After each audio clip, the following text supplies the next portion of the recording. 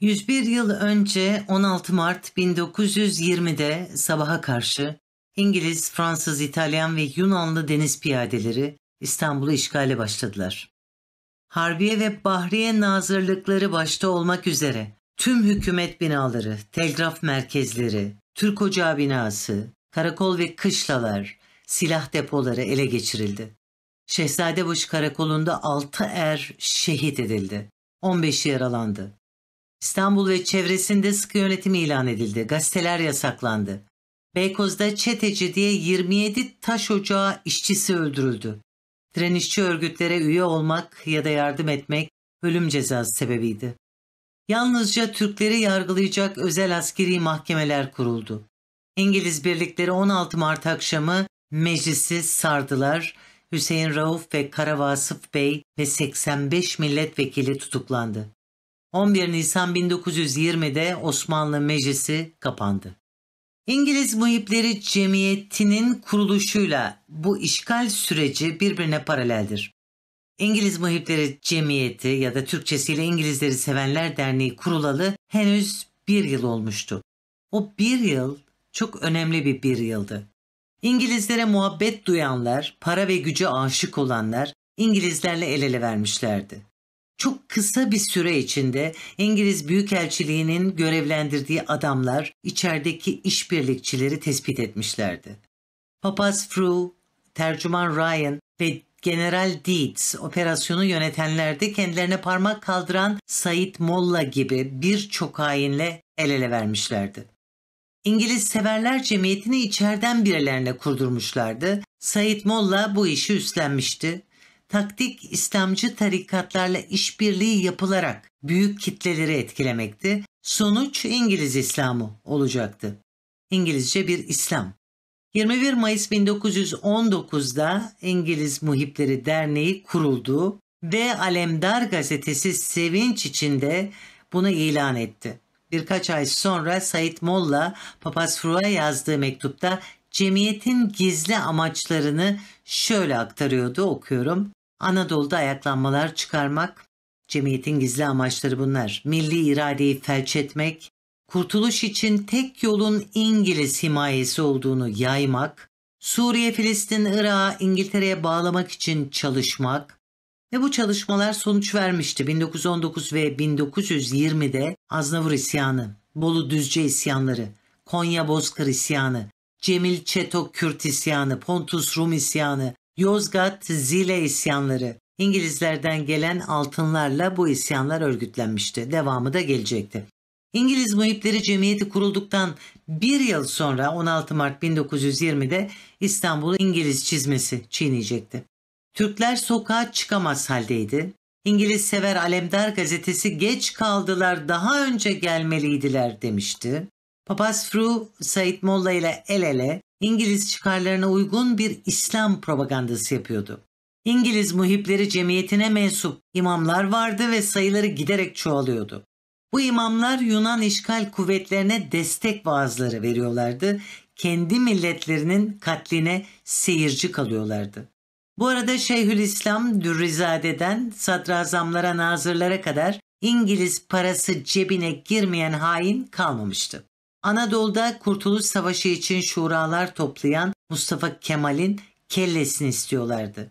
Mütareke basını Ali Kemal'in yazdığı Peyami Sabah, İngiliz parasıyla çıkan Yeni İstanbul gazetesi, Refi Cevat Ulunay'ın Alemdarı, Anadolu'daki direnişi örgütleyen Mustafa Kemal Paşa için cezası idamdır manşetleri atmışlardı. Padişah Vahdettin İngilizlerle gizli anlaşmalar yapıyordu. Bugün zavallı saltanatın yürek burkan hikayesini yazanlar ve Amerika adına Neo-Osmanlı düşüncesine zemin hazırlayanlar bu gizli anlaşmaları gayet iyi biliyorlar. Bu anlaşmaya göre saltanat 1. İngiliz mandasına girmeyi kabul etmişti. 2. Bağımsız Kürdistan projesinin hayata geçirilmesini kabul etmişti. 3. Hilafet nüfuzunun İngiliz çıkarları için diğer Müslüman ülkelerde kullanılmasını kabul etmişti. 4. Türk Milli Kuvvetlerini bastırmak için hilafet ordusu oluşturmayı kabul etmişti ve 5. Kıbrıs'tan tümüyle vazgeçmeyi kabul etmişti. İngiliz Severler Cemiyeti tek başına değildi. Kürt Teali Cemiyeti de Said Molla ile el eleydi. İngiliz kontrolündeki askeri nigahban cemiyeti vatanseverleri yok etmekle görevliydi. Sahte imamlarla milli direnişi kırmak için uğraşan Teali İslam Cemiyeti de İngiliz parasıyla iş çevirmekteydi. Türk Zabıta-i Hususiye Teşkilatı İngiliz fonu ve emriyle Mustafa Kemal'in yanında olanları avlamakla görevliydi. Bugün de gerek İslam'ın, gerek solu, gerekse Türkçülüğü kullanarak batıyla el ele bu vatana ihanet edenler var. Bir işgal olsa mutluluk çığlıkları atacak olanlar var. Dışarıya ruhunu satmış devlet yöneticileri var. Onlara Said Molla gibilerin sonunu hatırlatmak isteriz. İngiliz muhibi Said Molla ve diğer işbirlikçiler Paris'te, Roma'da, Atina'da, Kahire'de dolanmışlar, batılı devletler adına ajanlık faaliyeti yapmışlar, vatansız ve şerefsiz olarak tarihin derinliklerinde yok olmuşlardır. Mustafa Kemal Atatürk'ün naçiz bedeni 83 yıl önce toprak olmuştur ama düşünceleri en taze şekilde bizlere yol göstermektedir. O bizde yaşamaktadır ve bizimledir. Siz ölürseniz biz ne yaparız diyen köylüye Atatürk sensin demiştir. Emperyalist ülkeler Anadolu'yu rahat ele geçirebilmek için Osmanlı padişahını ve yönetimi kontrol altına almak amacıyla Mondros Ateşkes Antlaşması'ndan bir hafta sonra İstanbul'a ayak basmışlardır. İtilaf devletleri Mondros Ateşkes Antlaşması'na dayanarak 6-12 Kasım 1918 tarihleri arasında Çanakkale Boğazı istihkamlarına el koydular. 7 Kasım 1918'de 4 İngiliz subayından oluşan bir heyet Basra torpidosuyla İstanbul'a geldi. Bunları bazı memurlar ve yaşasın itilaf diye bağıran Ermeni ve Rumlar karşıladı. Sadrazam Damat Ferit Paşa hükümeti de bu öncü işgalcilerin rahat etmesi için Pera Palas ve Tokatlayan otellerinde 80 oda kiraladı. 8 Kasım 1918'de de 4 Fransız subayından oluşan bir heyet Arian adlı bir gemiyle Galata rıhtımına çıkıp yaya olarak Beyoğlu'ndaki Fransız elçiliğine gittiler. Bu subayları Beyoğlu sokaklarından geçişleri sırasında azınlıklar sevinç gösterileriyle selamladı. Arya'nın Galata rıhtımına yanaşması ve gemiden çıkan 4 Fransız subayının yaya olarak Beyoğlu'ndaki sefarete kadar gitmeleri, Galata'dan Beyoğlu'na kadar tüm sokaklarda binlerce İstanbullu, Rum, Ermeni, Yahudi ve Lavantanla bazı işbirlikçi Türklerce doldurulmasına, yaşasın Fransa, yaşasın hürriyet diye bağrışmalarına ve alkış tutmalarına yol açmıştır. Keşke Yunan galip gelseydi. Keşke Yunan galip gelseydi. Fransız subaylarına çiçekler verilmiş, boyunlarına sarılıp ağlayanlar olmuş, arkalarında da korkunç bir kalabalık birikmişti. İşgalcilere sempatik görünmek isteyen işbirlikçiler ve ayrılıkçı unsurlar Galata rıhtımı, Tophane, Yüksek Kaldırım, Beyoğlu Caddesi ve yan sokakları İngiliz ve Fransız bayraklarıyla donattılar. 13 Kasım 1918'de İngiliz, Fransız, İtalyan ve Yunan donanmalarından oluşan 61 parçalık bir işgal gücünün Çanakkale Boğazı'ndan elini kolunu sallayarak geçip İstanbul Boğazı'na girmesi Türk insanını derin bir yasa boğmuştur. Çünkü daha yaklaşık 4 yıl önce Türk insanı bu işgal donanması bu boğazlara girmesin diye Çanakkale Savaşı'nda varını yoğunu ortaya koymuş, 200 binden fazla şehit vermiş ve düşman donanmasının Çanakkale Boğazı'nı geçmesine engel olmuştu. Ama şimdi bu büyük direnişten sadece 4 yıl sonra düşman donanması güne oynaya İstanbul'a geliyordu. Bu kahredici bir işgaldi. 13 Kasım 1918'deki bu kahredici işgali İlhami Soysal şöyle tasvir etmektedir. Günlerce Çanakkale ağzındaki mayınlı arazilerin temizlenmesini beklemiş olan İtilaf Ortak Donanması'nın İstanbul ufuklarında dev bir armada olarak ve kara bir bulut gibi görünmesi, sonra tüm taretleri şehre çevrilmiş olarak istim üstünde limana demir atması ve gemilerin baştan başa bayrak ve flamalarla süslü olması, güvertelerinde durmadan çalan bandoları, rıhtımlara yığılmış İstanbul'un yerli ve azınlık işbirlikçilerini çılgına çevirdi. Aynı gösterinin çok daha ufak çaplısı 10 Kasım'da İngiliz ve Fransız generalleri karaya çıkarken de yapılmıştı. Ama bu defaki görünüş büsbütün korkunçtu. Sirkeci kıyıları Galat Köprüsü ve Galata Rıhtımı, Tophane, Salı Pazarı ve Dolmabahçe kıyıları on binlerce karşılayıcıyla doluydu. Kıyıdaki bütün binalar İngiliz, Fransız ve Yunan bayraklarıyla donatılmış, çiçeklerden takı zaferler kurulmuştu. Rum ve Ermeni okullarıyla Musevi okullarının üniformalarını giymiş başlarında öğretmenleri bulunan öğrencileri, çeşitli kilise ve havraların papazları, keşişleri, zangoçları, hahamları, rengarenk giyinmiş genç kadın ve kızlar, İngiliz, Fransız, İtalyan ve Yunan ulusal renkleri eşarplarıyla kadınlar, donanmış gemileri ve bu gemilerde çalan bandolarla gösteri yapan yabancı askerleri hurra, zito, viva nidaları ve alkışlarla karşılıyorlardı. İngilizler İstanbul'da Kilyos'a kadar olan bölgeleri işgal etmişler.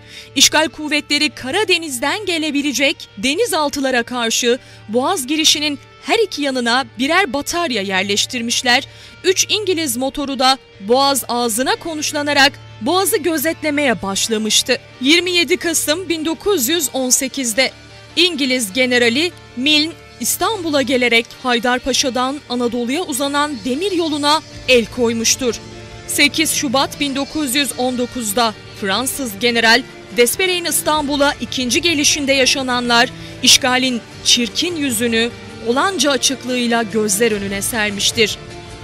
Şöyle ki Despere İstanbul'dan Beyoğlu'na doğru bir zafer alayı düzenlemiştir. Bir ata binen Despere'ye atın her iki yanında yürüyen iki zenci eşlik etmiştir.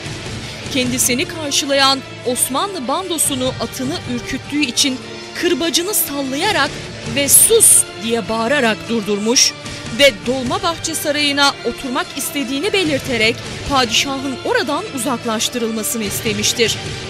Despere küstahça tavırlarıyla Osmanlı sadrazamlarını ve Türk subaylarını bile aşağılamaktan çekinmemiştir.